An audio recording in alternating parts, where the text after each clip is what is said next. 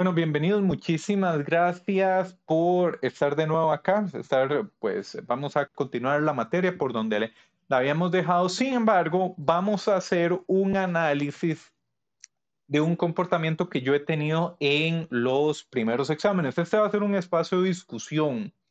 Algo que tenemos que tener presente, Dani, es eh, en un curso eh, principalmente esta característica donde nosotros tenemos el enfoque científico, donde hay hipótesis, las hipótesis las probamos y las refutamos, es esperable que haya discusión, donde yo les pongo un punto de vista y ustedes, pues, con criterio, emitan juicios de si yo podré estar acertando con lo que estoy concluyendo o me puedo estar equivocando. Entonces, Voy a ponerles un caso, un caso de análisis que a mí me parece chivísimo y me gustaría que con los anteojos que ya tenemos, los anteojos nuevos de diseño de experimentos, de lo que hemos llevado hasta el momento, ustedes me digan qué piensan. Entonces, vean el casito que vamos a analizar hoy.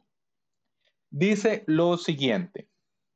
Un profesor del TEC del curso de diseño de experimentos publica un artículo científico en el cual expone los resultados de un método infalible que encontró para mejorar el rendimiento académico de sus estudiantes.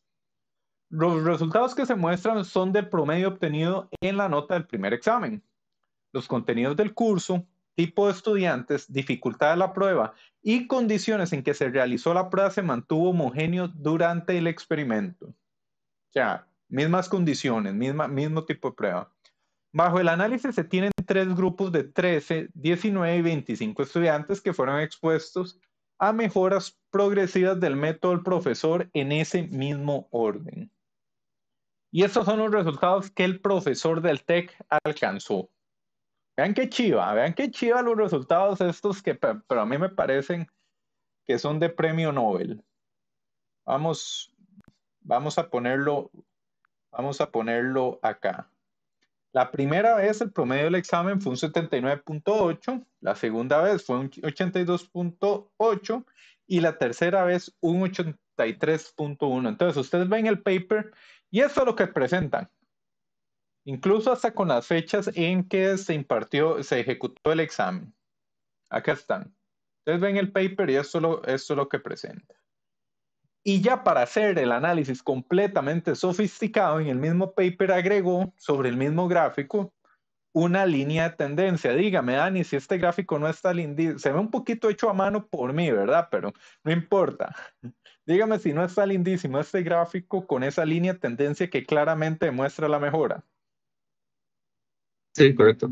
¿Verdad? Está como creciendo. Entonces, vean lo chiva, vean lo chiva esto.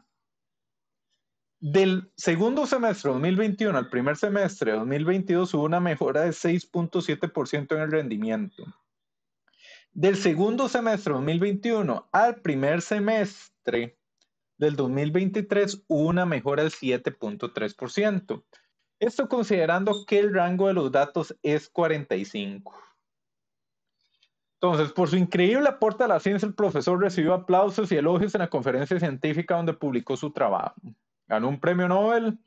Los resultados que he obtenido son irrefutables y algo importante y muy interesante acá. Nada de lo que yo les acabo de mostrar falta la verdad. Todo lo que acabamos de ver es cierto. No hay nada maquillado, no hay ningún dato falso, todo es cierto. Entonces vamos a preguntarle primero a Kenneth, ¿qué pensás, Kenneth, de estos hermosísimos resultados que yo digo que el profesor obtuvo?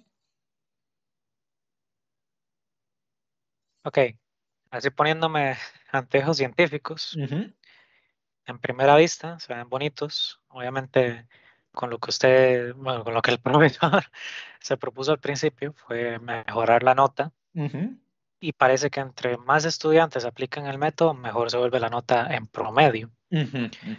Ahora, dos cosas que me resaltaron a la vista fue número uno, los años que nos presentó.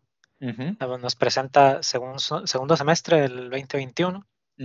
Después, naturalmente, pasa el primero del 2022, pero después hay como una, un hueco ahí que uno esperaría ver el segundo semestre del 2022 y después brinca al 2023. Ok, ahí fue que no se dio el curso en ese semestre. Entonces, es las veces consecutivas que se dieron y di que calzó que en ese, en ese no hubo. Ok, seguí. Y lo segundo que me resalta a la vista fue que siempre tiene uno que desconfiar de los promedios. Mm, ok. Ahí, Ajá. Ahí no sabemos si, por ejemplo, la nota del primer curso, que hubo pocos estudiantes, fue que tan solo hubo uno malísimo, digamos, una persona sacó un 20 en el examen, no sé, no, estudió, le dio una fiebre fuerte, no estuvo. Y eso pudo haber bajado el promedio cuando el resto pudo haber tenido notas más altas al 82. Y en los más altos 82 pudo haber habido una persona muy capaz, muy inteligente, y pasó el examen bien, bien, solo porque de por sí lo hubiera hecho. Ok, se podría decir, outliers pudieron haber jalado los promedios. y eso es un escenario real, y está, está chivísima eso porque eso yo no lo había contemplado. Yo sé, no, no, en serio, no lo había contemplado, pero sí, outliers pudieron jalar los promedios y nos da eso. Lo que pasa, estamos en una situación de podemos, pero no sabemos. Porque esa es la información que nos presenta. Muchísimas gracias, Kenneth. Vamos a ver qué me dice William. Vea, William, ve esa tendencia. Para mí eso es irrefutable. Y claro, se ve un crecimiento muy bueno, ¿verdad? Demasiado positivo en que los, las, notas promedio de los estudiantes han ido subiendo a través del tiempo, ¿verdad?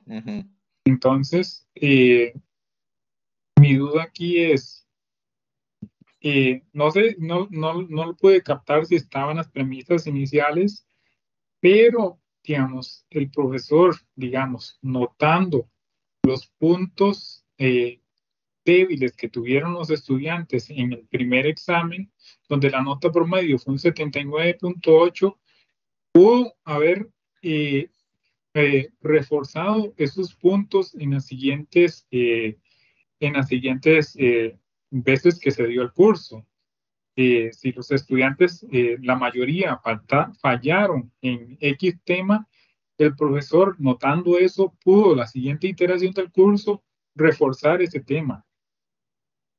Y así sucesivamente pudo ir eh, mejorando los temas en que el, examen eh, tenía una, eh, digamos, donde la mayoría de gente fallaba el examen. Ok, ese podría ser más de fondo, porque si es más de fondo es, ahí el experimentador, en este caso el profesor, está introduciendo un sesgo porque dicen, esto es lo que fallan y yo quiero esta nota levantarla, entonces empiezo a meterle ahí lo fogueo y yo sé que eso va a levantar porque es en lo que más falla.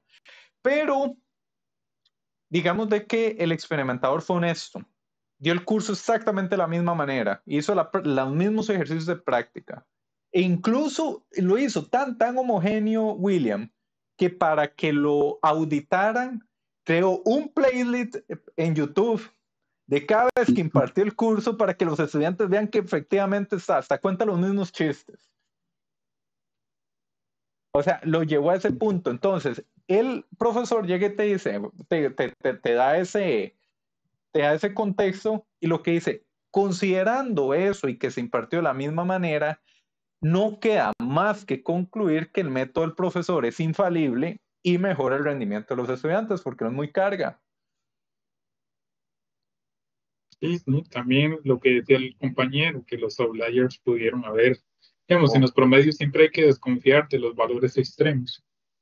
Ok, ok, ok. Vamos, vamos a ver, Grayling, ¿qué, qué nos aporta?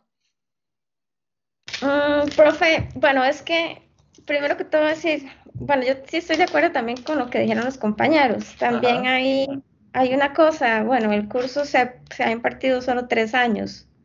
Ajá. Parece, parece. Entonces, ok, o sea, yo vería eso y diría, ok, bueno, sí, aceptó, hay una mejora, pero eh, no estaría segura, en lo que a mí me confunde, no estaría segura es qué tanto es, qué tan relevante o qué tanto describe la, distribución, la tendencia esos tres años. Si más bien él tiene que esperar no sé, unos siete años, yo qué sé, ¿verdad? O quizás menos, ¿verdad? Entonces, ok, bien, o sea, el paper salió bien, o sea, la tendencia está súper bien, pero creo que es algo que podría pasar que en el futuro, cuando él vuelva a hacer los datos, va a ver que la tendencia no era así. La tendencia quizás en un periodo era subiendo y luego ya bajó y ya eso va a refutar, o sea, lo, que, la conclusión que quiso.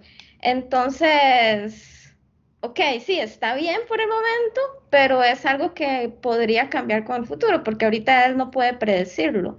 Además, creo que por ahí va, ¿verdad? Y además, como son notas y tiene que ver con los años, yo no sé si esto tiene que ver con alguna, con eventos relacionados al año, ¿verdad? Entonces, bueno, en este caso no, no creo, ¿verdad? Pero, pero sí, es lo que yo veo quizás. Un evento puede ser, uno, pandemia y dos, ChatGPT. Ah, bueno, sí, también. eso, vea, eso puede ser. No, sé, o sea, pero digamos, esos factores siempre van a haber, supongo, son variantes que él no va a controlar porque no, no se sabe, ¿verdad? Pero lo que yo veo aquí es que, ok, bien, pero en el futuro él no va a saber si esta tendencia va a ser otra cosa y va a llegar a otra conclusión. Por el momento creo que está bien, pero es algo que me confunde, profe. De hecho, tenía preguntas relacionadas a eso. Ok, ok, ok. Qué dicha, qué dicha que lo mencionan. Voy a cortar el video acá y sigo con José.